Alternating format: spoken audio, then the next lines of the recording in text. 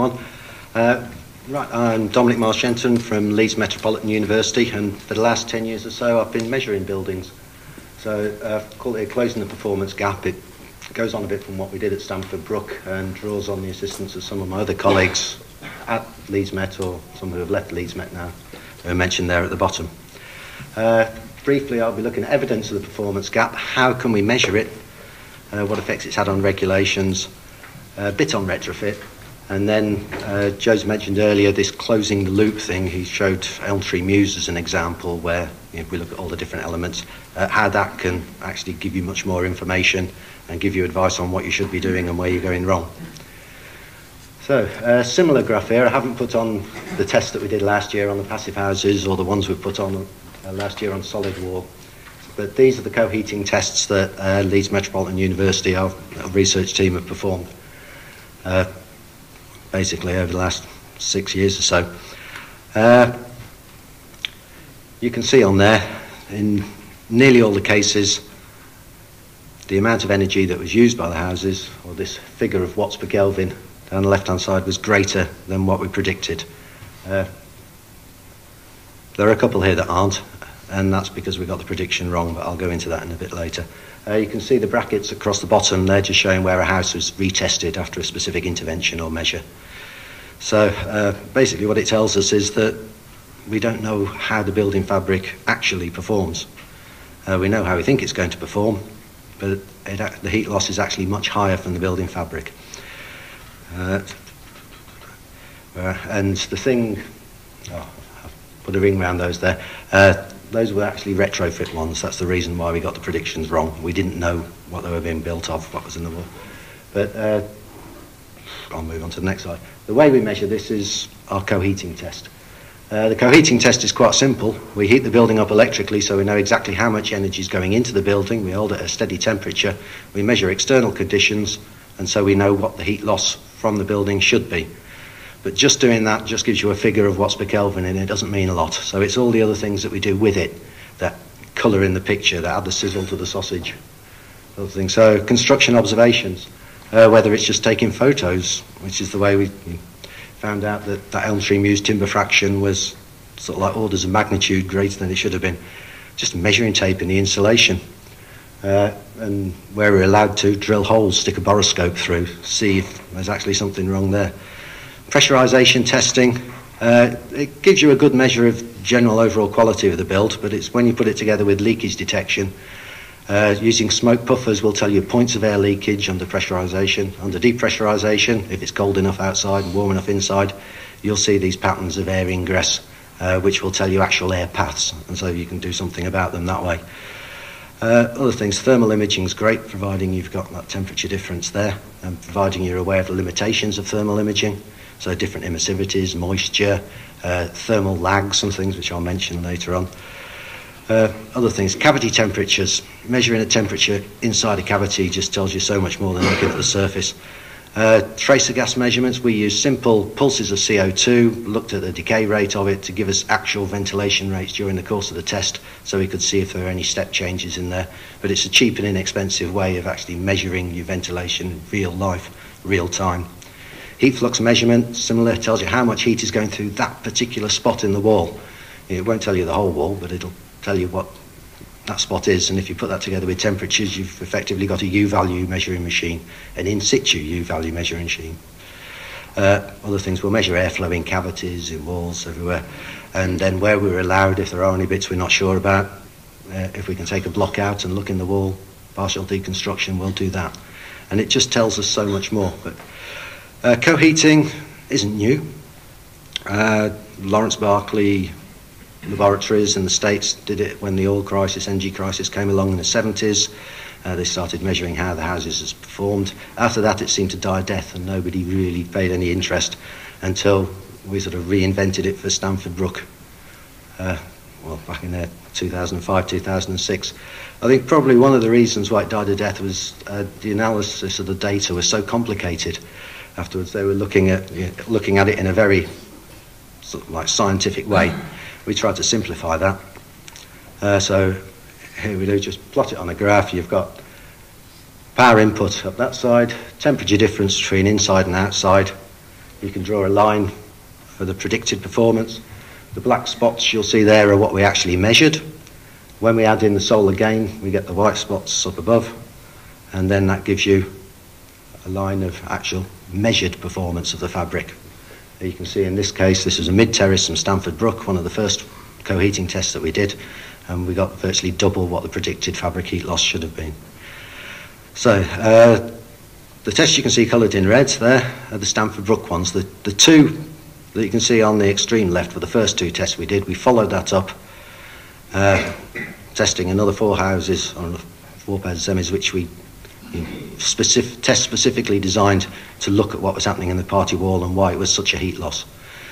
I mean, it shouldn't have been such a surprise that the party wall was a heat loss. A, got a paper on my desk there 20 years ago uh, people doing in situ measurements got U values of about 0.8 for party walls, but again, nobody really wanted to acknowledge that, wanted to pay any attention. But so we did it, we measured it accurately, we tried to do it in a way that was beyond question, and we shouted a lot about it, and people started to listen. So this was the mid-terrace house at Stamford Brook, predicted heat loss of 75 watts per one degree difference in temperature. We actually measured sort of like 153. Uh, the semi-detached, uh, we didn't quite get the same, and so it led us to believe it was something to do with the party wall that was causing this huge amount of heat loss. Thermal images, you can see a bit of thermal bridging at the bottom. This is up in the cold roof space. In the middle, nothing. At the top, there's this huge plume of heat. So, uh, our simple theory was there's your party wall, there's your loft insulation, it was just heat going from the rooms in the house, going up through the party wall cavity, and effectively got anywhere between a 500 or 800 watt radiator heating up your cold roof space. Uh, oh, I've gone backwards. So uh, to investigate it, we took a party wall. It was partly built. We put just a piece of mineral wool sock, cavity stop sock, at roof level. We put removable blocks so we could take it out later with the sock in, no heat plume at the top of the cold roof. With the, ooh, I'm going too fast. With the sock out, that heat plume reappears. Uh, it wasn't just the only thing. When we took the sock out, we started to see wind washing effects in the party wall, which we weren't really aware of before. Uh, we also saw some strange effects. With the sock in position, there was hot air coming out on the one side of the party wall, uh, which you could see with a thermal camera. We take the sock out, and that disappears. Okay, we were allowed to take a brick out in that case, and we could see there was no insulation there, and so the cavity was being vented into the wall, or sort of the party wall cavity was being vented into the external wall. So uh, the measurements that we took, this is uh, just taking cavity temperatures inside the party wall cavity.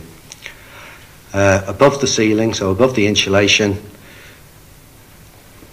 you can see there for the first week or so of testing, we had the sock in. Uh, the temperatures in the cavity, sort of like pretty much following external temperatures. As soon as we take the sock out, the temperatures in the cavity, this is up above the loft insulation with the same temperature as inside the house. Well, not quite as hot, but similar. Similarly, temperatures in the cavity below the loft insulation with the sock in, like nice and stable, reflecting the temperature within the house. And as soon as we take the sock out, they're all over the place. They're sort of like, yeah. Uh, it's the temperature, external temperature, it's wind effects and things which are driving the temperature inside there. Then, so quick calculation of it would gave us this with the sock in and sock out, a reduction in the, the effective U value of that party wall by about 0.5. Uh, measurements of airflow with the sock in. Arrows just signify the amount of airflow that we measured or the maximum speed. Take the sock out, huge amounts of airflow within that party wall. So it meant that our simple model of how cold air got in and hot air got out, uh, or heat loss from the wall, was nowhere near as simple as we actually thought. Even with the socks in, we were still getting some heat loss in there because it was hard to get it absolutely perfect to get a, a proper airtight seal all round. Anyway, uh, Malcolm Bell, who was running the project, gave this you know, just a back of fag packet calculation. you know, it could be three quarters of a million tonnes of carbon per year just from that party wall bypass alone. So uh, another project we did here, these houses, was by the mineral wool insulation manufacturers who thought maybe just by filling this party wall with insulation we stop the bypass. So we looked at a few of theirs. Uh, basically, these are just some houses in Bradford.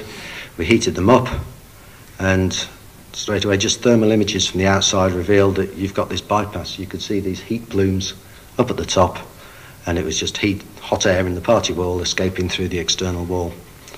Uh, so uh, we stuck as many sensors in the wall that we thought we possibly could do without really affecting the way that the wall performed. So you can see there positions of the sensors, loads. I'll show you a picture of them. Was, yeah, so we, we were measuring surface and cavity temperatures. We were measuring airflow in vertically and horizontally. We were measuring heat flux into there. We were measuring differential pressures to see what the drivers were for air movement. So, and then after measuring for a few days, uh, we got the insulation people to come along and fill the party wall, uh, filling it to a standard density of about 20 kilograms per meter cube that they would on external walls. And these are the results we saw. Uh, the predicted uh, against what we measured before we filled the party wall, and then when we filled the party wall, sort of like a, a big reduction again. Uh, similar case there, a reduction of about 0.5 watts per meter squared. You can see there before and after sort of like the plume had disappeared. But it wasn't the only problem there. Uh, you, lots of other things. You, if you can see on this one, just a drop soffit, an RSJ going through there. The insulation goes right over the top of it, but the air barrier is underneath, and it's just another kind of bypass. Uh, implications for building regs, it actually brought about a change in the building regulations. So 2010 building regulations actually put in a value for the party wall.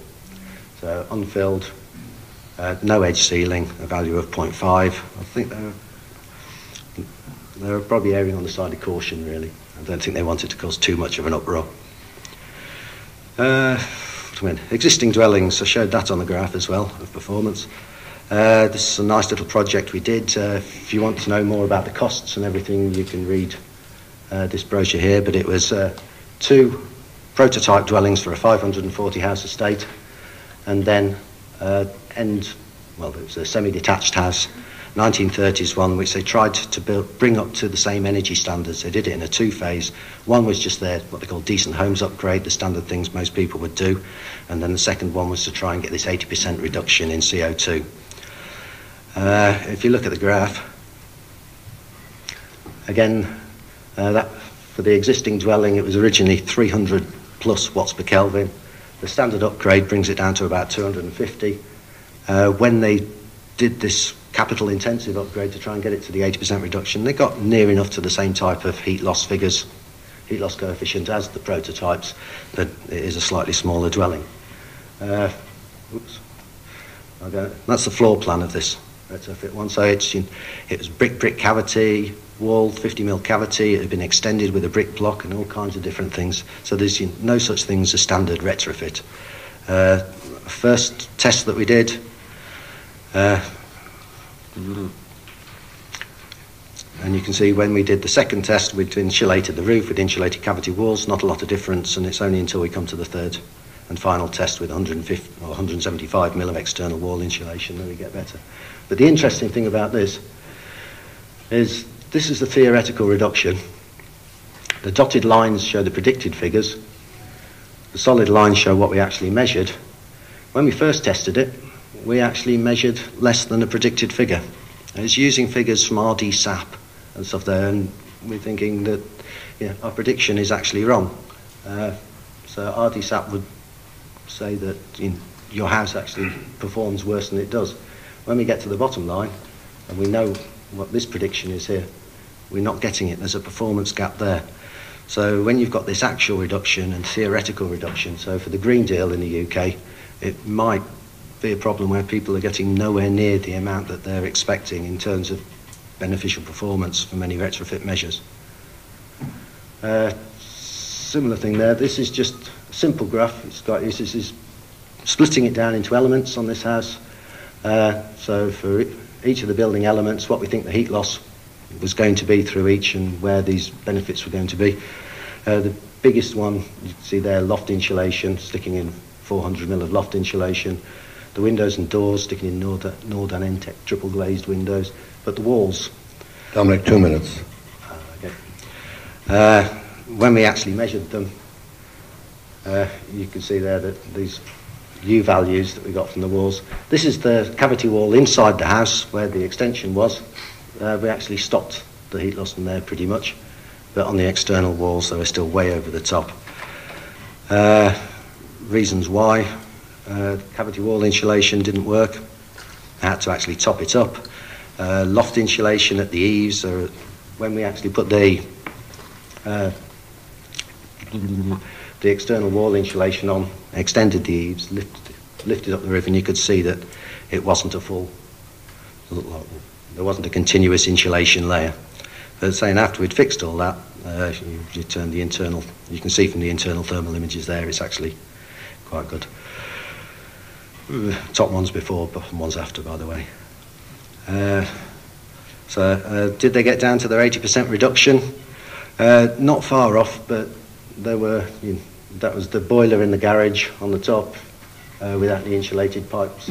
Uh, down at the bottom, uh, you got the hot water tank in the loft with no insulation pipes, and so moving those around, they got close to it. But if you read uh, the report, it'll give you costs and everything.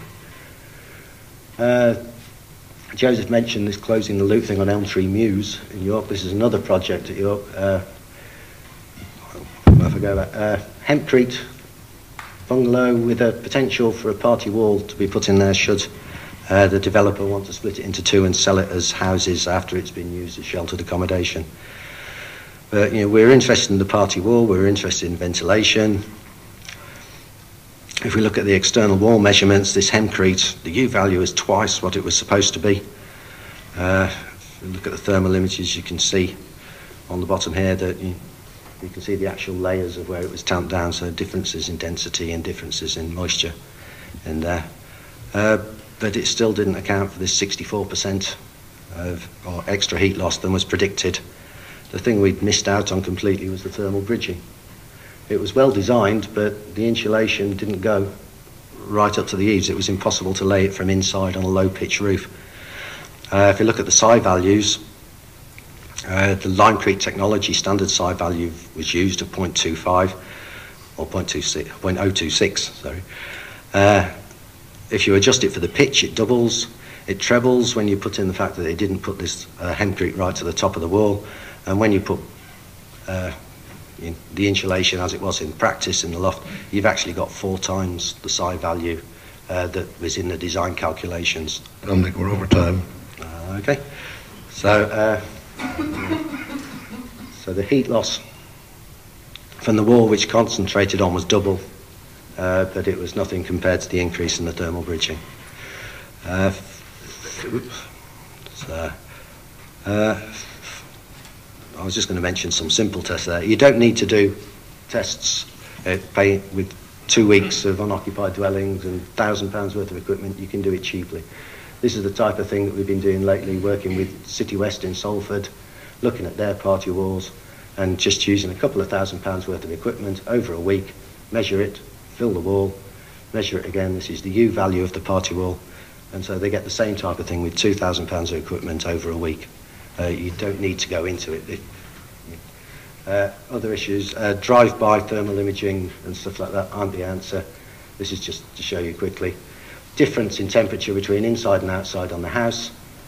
There's this graph along the bottom. It can be six hours before you get the difference in temperature being expressed on the wall surface. So it's this thermal lag and things which don't work. So anyway, that's me finished. If you want to read up about the co-heating test, it's on there. Uh, but uh, I'd think twice before investing a lot of money in doing it. Uh, thank you. Thank you very much.